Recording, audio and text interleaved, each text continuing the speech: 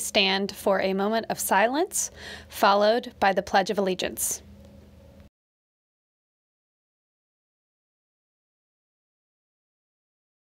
I pledge allegiance to the flag of the United States of America and to the republic for which it stands, one nation, under God, indivisible, with liberty and justice for all. Teachers, please take attendance and do a quick dress code check. Thank you.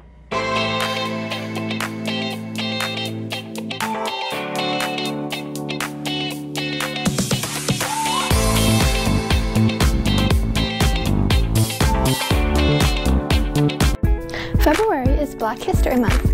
During the month of February, we will be celebrating influential black people who have made an impact.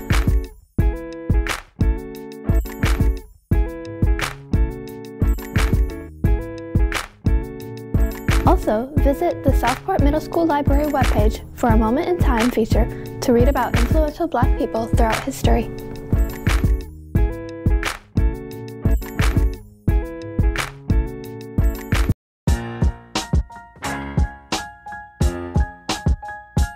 Baseball is right around the corner. Optional workouts will take place February 28th and 29th after school in the SMS main gym until 4:30 p.m. each day.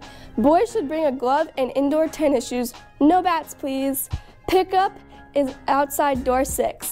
See you there. 7th and 8th grade boys volleyball kickoff with two volunteer workouts after school on February 29th and March 5th. Official tryouts will be held on March 11th and 12th and 14th after school. Boys are strongly encouraged to attend both sessions. Pickup time is at 5 o'clock. There will be a golf meeting with students and their parents on March 4th in the middle school cafeteria from 3.15 to 3.45 p.m. Please use door 12 to enter. The track and field season will begin on Thursday, March 5th. Pickup time is at 4.30 at the track. All athletes need to have final forms paperwork completed, a physical, tennis shoes, and running shoes to participate in practice. Please make sure you are prepared for any type of weather because we will be going outside to run rain or shine, hot or cold. If you have any questions, please reach out to your coach. The girls' coach is Coach Spalding. The boys' coach is Coach Seaton. There will be a volunteer softball workout on Friday, March 1st from 6 to 8 p.m. in SMS main gym. Enter door 6. Please bring inside athletic shoes and a glove. No bats, please. On last Thursday, the Cardinal wrestling team defeated Lynhurst 111 to 12. We are now 17 0 and looking for Mo. Next meet is home Tuesday versus Speedway. This is Teacher Appreciation Night. The honoring of an educator begins at 5 o'clock. Meet starts at 5:30. Come out and support your Cardinal wrestling team. Quarter three celebration will be held in the gyms on Friday, March 15th. It will include obstacle courses, bungee basketball, jousting, human foosball, and so much more. To qualify and be invited to this event, students need to have no more than two tardies, no SCRs, no more than one D, and no Fs. Keep your grades and behavior in check so you are able to attend our fun celebration. February 29th is theme night from 6:30 to 7:45. Stay tuned for more details about this exciting event. In order to avoid being dress coded, all students are required to wear a collared shirt every day, even under a quarter zip shirt, sweatshirt, or sweater. Students are not allowed to wear full zip jackets, coats, or hoodies throughout the day. Please place these items in your locker. Also, students are not allowed to are not permitted to wear leggings. Please continue to show dress code so that you can have a smooth and productive day. Come dine and donate at Jaggers on US 31 South on February 26th from 11 a.m. to 10 p.m. Jaggers will donate 20% of your purchase to Southport Middle School when you dine in or drive through. Either show the cashier the flyer or simply mention Southport Middle School when placing your order to participate. Let's show how to support our school with some good food.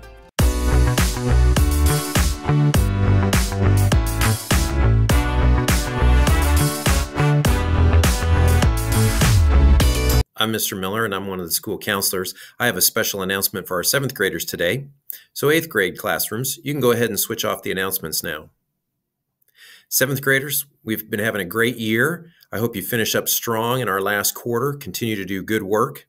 But as we get ready for next year, there's some exciting things to look forward to, and one of those would be what kind of elective classes you're going to take. So this morning, I want to walk you through the process because this is your week to sign up and let me know what you want to take for electives next year. So I'm going to walk you through the process now. First, a reminder to those of you who are in music that we would expect most of you to continue on next year. However, if there's some reason you want to stop your participation, make sure that you've already told your teacher. If not, the absolute deadline is this coming Monday. Now, for the letter that you are to receive in advisory this morning, please make sure that you take this letter home to your parents. Talk with them about your choices, and then you'll need to follow the directions on the letter to complete your preferences in the online form by next Thursday. Make sure as you're doing that that you're logged into your account. Sometimes you might borrow a brother or sister's computer and forget that you're logged into theirs. That's not going to register your choices correctly, and so you won't have your preferences noted. You might get the wrong electives. Lastly, make sure that you double check your choices before clicking submit. However, I want you to know that up until the deadline, you can edit them. So how do you find the link for the elective choices? Well, first of all, start off at your resource portal. Now, don't do this now with me because you can't select your choices yet anyway. The form isn't active yet until tonight. But just follow along. So at the resource portal, you'll go to the schools tab. You'll go down to Southport Middle to find our school's website. Once you're there, look across the top for the counseling tab. Under counseling, you'll find scheduling. That's where you'll want to go. This has both our seventh and eighth grade elective choices, so make sure that you're looking at just the eighth grade choices. There is your form, though. You're currently a seventh grader, so you'll use this elective choice form. That's the link. There's also links to the informative letter that you're taking home today and this particular video that you're watching now. As you scroll down, you'll see the different electives, and you'll notice links for videos for each of them. This gives you the opportunity to hear from the teachers themselves in many cases so you can find out more about the course. You might also ask some of your older friends who have had the classes what the class is like so that you can make the best decision for you. Now remember, you have one week to complete this. After next Thursday, it will be closed. But take some time, think it over, talk with your parents tonight, and tonight or this weekend, complete the form. You'll be ranking the four choices in order from number one being your favorite down to number four being your least favorite. We look forward to a great year next year, and I look forward to seeing what classes you'd like to take. Make sure you take time to charge your Chromebook so your Chromebook will be charged and ready for the next school day.